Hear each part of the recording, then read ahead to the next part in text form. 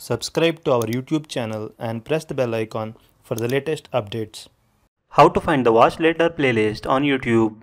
Log into your YouTube account if you are not already logged in.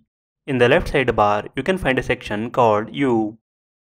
Under this section, click on Watch Later. You will be navigated to your Watch Later playlist. On this page, you can find all the videos you have added to Watch Later playlist.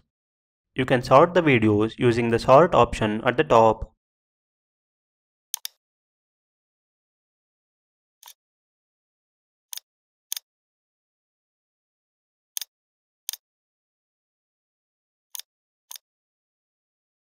To play the video, you can click on the individual videos or you can click on the play all button.